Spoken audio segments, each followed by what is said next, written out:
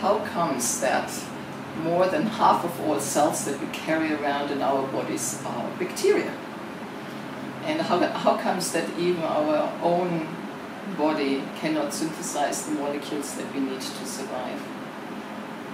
And uh, it just illustrates how many different molecules we need, how complex they are in their architecture, in the chemistry, um, and how much we need to learn to even understand